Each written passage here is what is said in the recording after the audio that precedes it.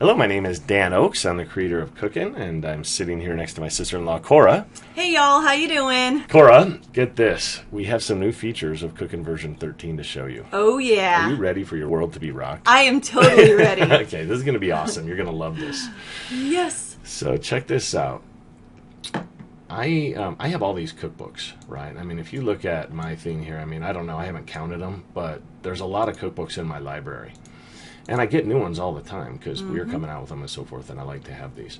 So Yeah. here's what's the thing: is sometimes when I find a dessert recipe, I don't want to always like move it into my own personal cookbook. Right. You know what I mean? Yeah, yeah. Because then I have a duplicate. I can mm-hmm. I can copy and paste oh, it, Oh, yeah. or I can move it.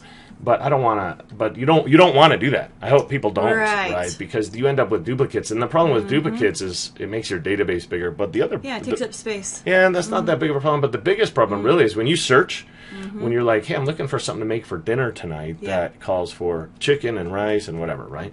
When you do that, you're getting all these duplicates. right? Yeah. So you don't really want duplicates in your database. So instead, we have this categories feature. Hmm. Okay, so if I'm looking at a recipe like brownie bowls, I'm just picking this one randomly. I don't even know what this is. but Okay. I'm Um, looking yeah, at this. You, you picked a pretty good one. It looks right? like randomly. Yeah.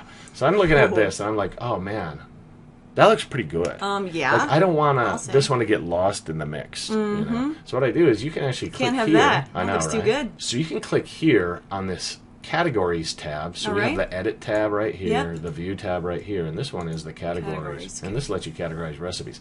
This is like tagging them or labeling them. Do you use Mm-hmm. Yes. Gmail by the way for your- Yes, all the time. You know how you do labels and it's almost like folders? Yeah, And so forth. Well, that's what this is. So I'm going to go here. I'm Okay, going to desserts say, and cookies. Yeah, Yeah, I'm going to add this to my one. desserts and cookies one, right? That's that way I can keep track of it. that. And so I'm going to save this.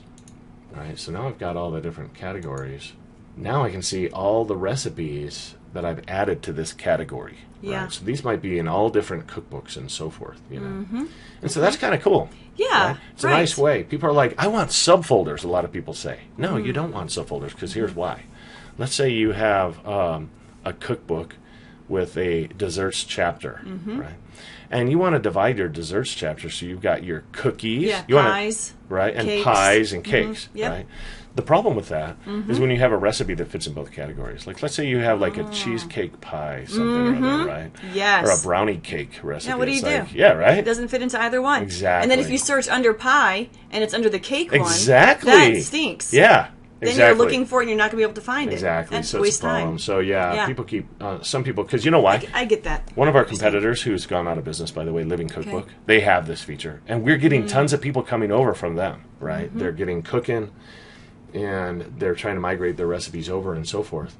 And what's happening is they're saying, "Hey, um, how do I do subfolders? You know, in my chapters?" And we're like, "No, no, no. There's a better way. Yeah. And the way to do it is with categories. Well, here's what we added recently in Well, Cook'n. you're keeping it simple. yeah, it is. It's The subcategories complicates things and it makes it a little yeah, yeah. So Keep here's here's what's cool that we added to this categories feature.